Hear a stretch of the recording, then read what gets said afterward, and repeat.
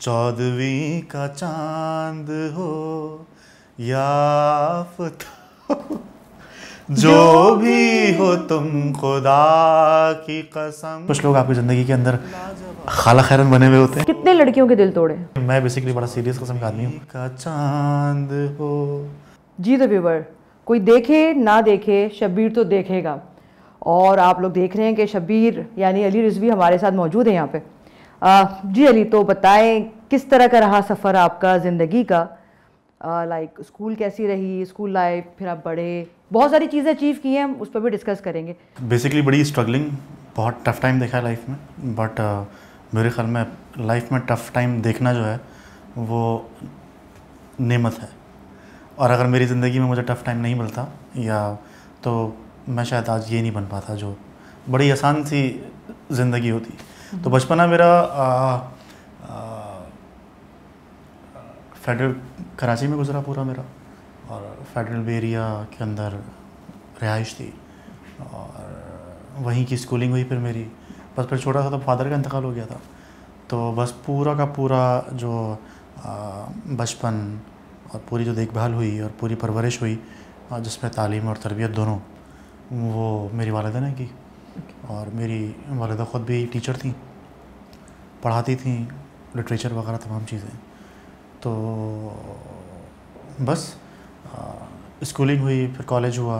कैसा एक्सपीरियंस रहा छुपन छुपाई? छुपन छुपाई का मेरा एक्सपीरियंस ये था कि आ, मैं टीवी ड्रामा वाले साइड से काफ़ी दूर चला गया था मैं। हम्म। और दो तीन क्योंकि वो आपको पता है हमारे यहाँ रिकवरीज वगैरह का जो है तो मैंने कहा यार मैं एक्चुअली एडवर्टाइजिंग के बैकग्राउंड से हूँ मैं। हम्म। और जोश था फ़िल्म मेकिंग का जोश आया था। तो उस वक्त पाकिस्तान के अंदर कोई यूनिवर्सिटी और अकेडमी इस तरह थी नहीं।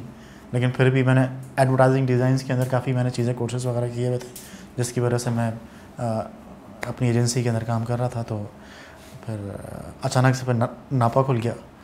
तो वो भी बहुत सारी डिग्रीज ज्वाइन की भी थी पहले भी मैंने लेकिन छोड़ दी थी। लेकिन इवेंचुअली अम्मा फिर मेरी आई। वो न्यूज़ संडे का ऐड आया था उसके अंदर। तो अम्मा अच्छा मेरा ये है कि मैं झूठ बोलता था थोड़ा।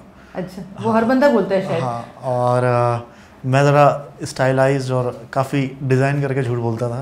सही तो जो बेवकूफ़ है वो यकीन कर लेगा और जो इंटेलिजेंट है वो बोलेगा क्या झूठ बोल रहा है ये? तो फिर अम्मा आई उन्होंने बोला कि बड़ा झूठ बोला है। मैंने कहा हाँ बोला तो है।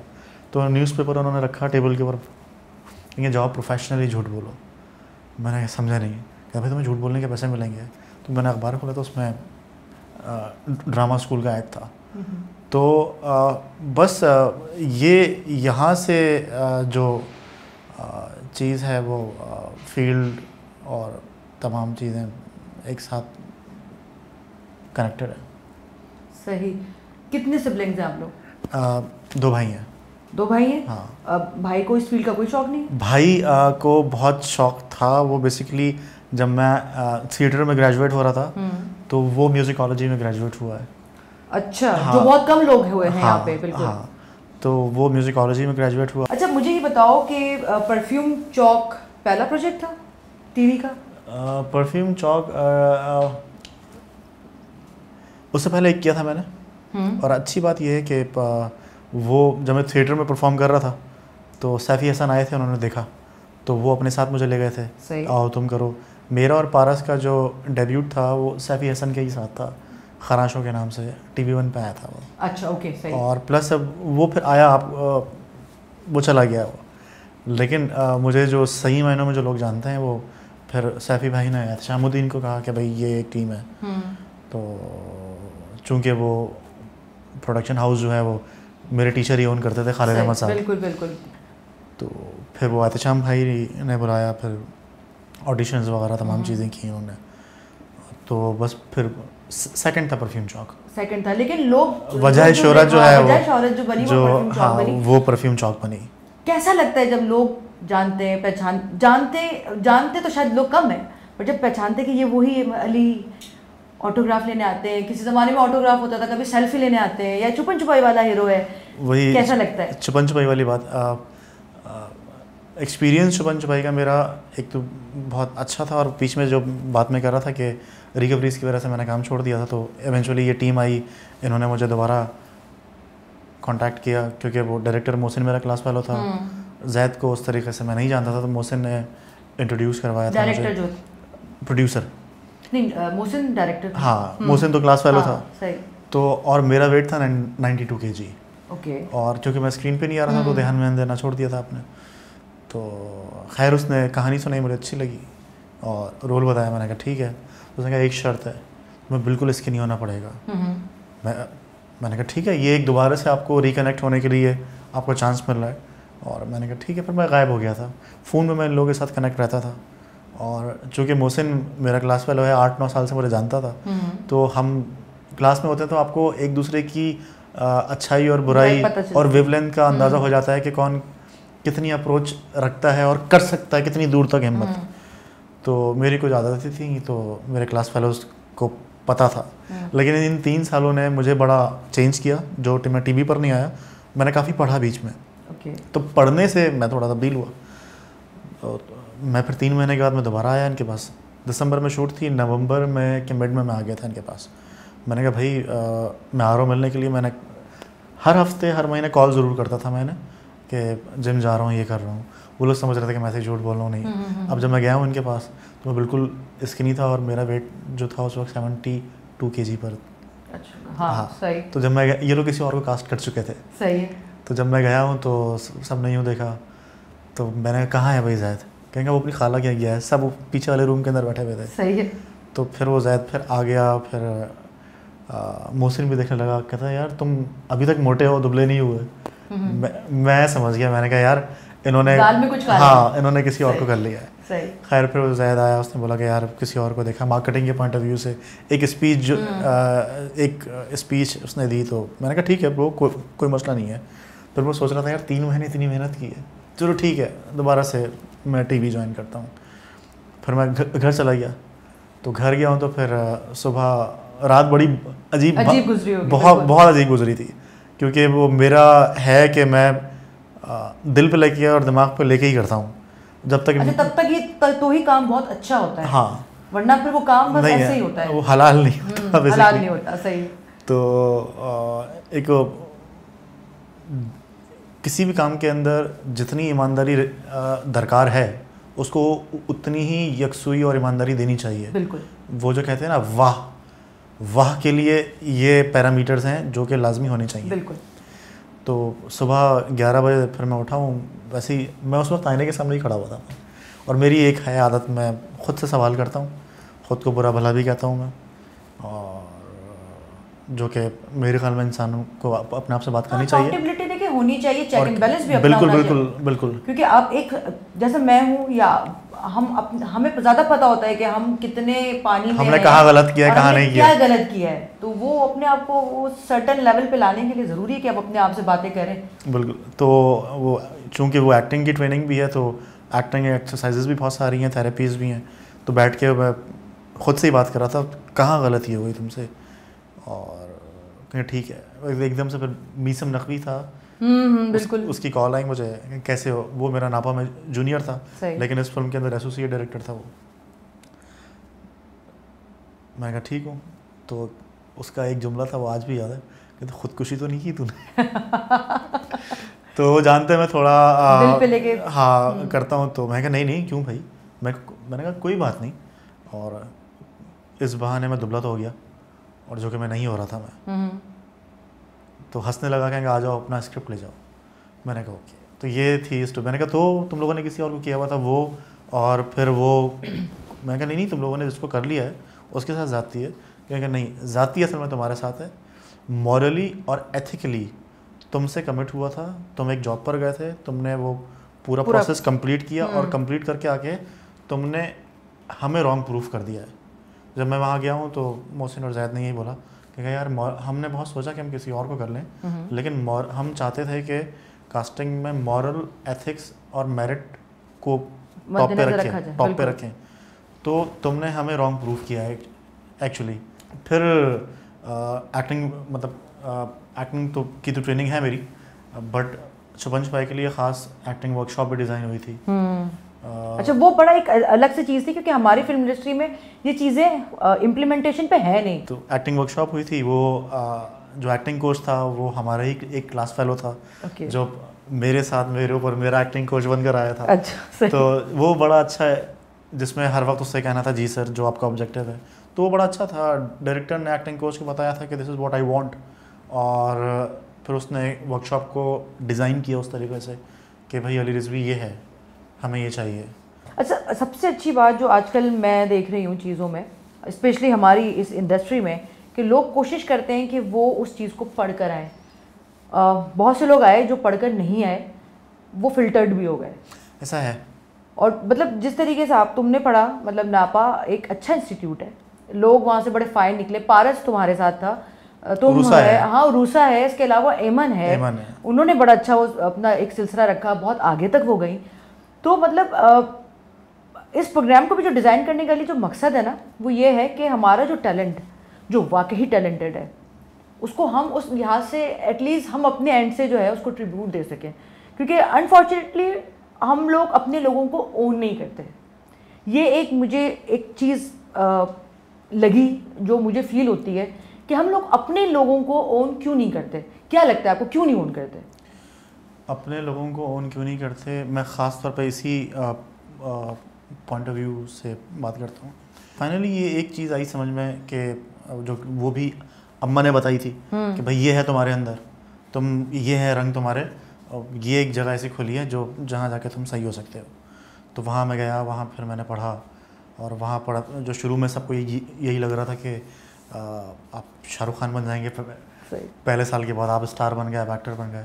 लेकिन हमारी जो अना थी और ईगोस का कत्ल है वो वहीं हो गया था। इसलिए आप मोस्टली जब हम मेरे मुझसे या मेरे दूसरे क्लास वालों से मिलते होंगे आपको हमेशा ऐसी एक सॉफ्ट बॉडी लैंग्वेज के साथ मिलते हैं वो। तो एक तो वो प्लस वहाँ पे पढ़ा बहुत हम लोगों ने। पढ़ा Urdu literature French literature Sanskrit plays आपके वेस्टर्न प्लेस आपके Russian plays history geography philosophy और साइकोलॉजी पॉलिटिक्स पॉलिटिकल आइडियोलॉजीज़ जो कि लिटरेचर जो है वो उसमें कहानियाँ होती हैं ना। कहानियाँ होती हैं वो किसी भी दौर की अक्सी करती हैं। और वो दौर जो होता है उस उस दौर में कोई एक फैक्टर नहीं होता। नफसियाती पहलू अलग होता है मुआशी पहलू अलग होता है माशरती पहलू अलग होता है उसका। और फ़िलासफ़िकल उसकी वैल्यूज़ अलग होती हैं। टेक्निकल ट्रेनिंग जो कि वॉइस आपकी वॉइस आपकी माइंड और आपकी बॉडी की ट्रेनिंग होती है। तो वो लेकर जब हम बाहर गए हम समझ रहे थे कि भाई आ, कमाल हो जाएगा लोगों को- हाँ। लेकिन इवेंचुअली उस वक्त आ, आ, उस वक्त भी मिक्स फीडबैक था। मिक्स फीडबैक ऐसा था एक साइड थी जिन्होंने बहुत खुशी से हम लोगों को एक्सेप्ट किया। एक्सेप्ट किया वेलकम किया। क्योंकि यार तुम लोगों ने आ, एक तो उस काम को रिस्पेक्ट दी और प्लस पढ़ने के लिए गए। और प्लस अब इसको प्रोफेशनली परसू कर रहे हैं। बिल्कुल। और दूसरी साइड हमारी ये थी कि भाई आ, आ, इस काम के अंदर आ, पढ़ने लिखने की ज़रूरत नहीं है। हमें उस वक्त उस तरीके से एक्सेप्ट नहीं किया गया मेजॉरिटी में। लेकिन हाँ आ, कुछ लोग थे। आ, बहुत ज़्यादा नहीं थे लेकिन वो लोग थे जिन्होंने हमें बहुत अप्रिशिएट किया। क्योंकि यार ये बहुत अच्छी चीज़ है। और ये इस वक्त की रिक्वायरमेंट भी है और आगे जाके ये चीज़ इंडस्ट्री को फ़ायदा भी देगी उससे स्टैंडर्ड्स भी अच्छे होंगे कंपटीशन भी अच्छा होगा। और प्लस जो अपने ही लोगों को जो अंडर एस्टिमेट करने वाली जो बात है हम भी पाकिस्तानी थे। हाँ, पाकिस्तान का नाम रोशन करने के, के लिए ही पूरी एजुकेशन एक्वायर की थी और ऑफ़ कोर्स घर वालों का। अली कितना स्पिरिचुअल है? मैं स्पिरिचुअल मैं बहुत स्पिरिचुअल हूँ। हाँ? और मुझसे ज़्यादा स्पिरिचुअल मेरा दोस्त पारस है। अच्छा सही। हाँ वैसे आप लोगों की जोड़ी माशाल्लाह से जगह जगह मशहूर है काम के हवाले से दोस्ती के हवाले से। पारस से बस दोस्ती ऐसी है कि नापा ख़त्म हो रहा था। सिर्फ़ चार महीने रह गए थे। और सिर्फ़ सलाम दुआ होती थी हमारी। मेरी नापा में उससे बहुत पहले? हाँ। ओके। और नापा में बहुत ज़्यादा मेरी दोस्ती थी भी नहीं। क्योंकि मैं आ, मिलता सबसे था। लेकिन होता है ना कि यार ये कहाँ से आ गया हो मैं सारी पार्टीज़ में मैं नहीं होता था। मतलब सारी गैदरिंग्स के अंदर नहीं होता था। क्योंकि मैं, मेरा एक अलग एक अलग तरीके से मैं बात करता हूँ, वो एक माइंडसेट है। तो पारस से जो दोस्ती थी वो नापा ख़त्म होने से चार महीने पहले मैं बस वहीं था। तो उसने वो भी घर जा रहा था। तो उसने मुझसे पूछा कि क्या कर रहे हो? चल रहे हो घर? मैंने कहा, चलो चलते हैं। तो बस हम लोग गए। उस वक्त स्टूडेंट्स ही थे तो मैं प्रोफेशनल लाइफ से दोबारा स्टूडेंट बना था मैं। सही। तो मैं फिर सही तरह स्टूडेंट ही बन गया था मैं। तो शाम में बस वो ब्रेड एंड बटर के लिए मैं अपना फ्रीलांस करता था मैं। तो फिर बस में हम बैठे तो हम दीपा पर फिर हम लोग हम लोग मैं कहा यार यहाँ क्यों उतर रहे हो? तुम तो वहाँ रहते हो। मैंने कहा यार मैं जो हूँ असल में मैं यहाँ उतरता हूँ। आधे घंटे में एक होटल पर बैठता हूँ चाय वाय पीता हूँ लोगों को ऑब्ज़र्व करता हूँ। मेरी एक डायरी है हम्म। और मैं उनके बिहेवियर्स और उनकी तमाम चीज़ें मैं नोट करता हूँ। अच्छा। तो ये अच्छा तुम यहाँ बैठते हो? मैंने कहा हाँ। कहा, चलो बैठते हैं चाय पीते हैं। मैं कहा "आओ- आ आ जाओ तो मैं बैठा हूँ उसके साथ। फिर उसने फ़र्स्ट टाइम पारस और मैंने बात की थी उस दिन अच्छा। बैठ। के चाय पे। हम चार घंटे बैठे रहे। बस फिर उसके बाद वो नेक्स्ट डे से तो मैं और पारस साथ साथ है। नहीं लेकिन दोस्ती एक वाकई एक ऐसा प्यारा रिश्ता है जो जि- जिससे हर बंदा ब्लेस्ड नहीं है स्पेशली इस ज़माने में। ऐसे ही है। तो ये अच्छी बात है अल्लाह पाक आप लोगों की दोस्ती को सलामत रखे। अली जो है वो अ, उसको क्या लगता है हमारी जो सोसाइटी है इसमें थिएटर जो है उससे हम अपनी अ, जो आम रूटीन लाइफ है उसको किस तरह बेहतर कर सकते हैं या क्या ऐसी पॉजिटिविटी ला सकते हैं जो अब तक तो थिएटर नहीं ला सका? अनफॉर्चुनेटली क्योंकि हमारे पास शायद वो मीडियम उस लिहाज से इतना वास्ट नहीं किया गया। एक सर्टन लोग जगहों पे हैं जो वही लोग हैं जिनको हम देख रहे हैं नए लोग कम आ रहे हैं। या उनको मौके नहीं मिल रहे क्या होना चाहिए? थिएटर के लिए क्या होना चाहिए? क्योंकि आपने जिस जगह से पढ़ा है वो जगह अपनी जगह बहुत अच्छी मुस्तनद जगह है। बिल्कुल। और बड़े अच्छे लोग हैं वहाँ पे आपकी फैकल्टी में भी बहुत अच्छे लोग हैं चीज़ें हैं। क्यों नहीं बढ़ रहे लोग आगे? देखें आ, वो तो एक जगह है वहाँ पे चंद लोग हैं और जिन्होंने चंद लोग बनाए और वो आहिस्ता आहिस्ता वो कतरा कतरा वो बढ़ रहा है। बिल्कुल। बट ये सारा ताम झाम ये सारा जो कारवा है वो मसिस के लिए है बेसिकली हम्म। ठीक है? लेकिन मासिस तक ये चीज़ें पहुँच नहीं रही ना? जब आपकी बॉडी में कहीं दर्द होता है तो आप कहाँ जाते हैं?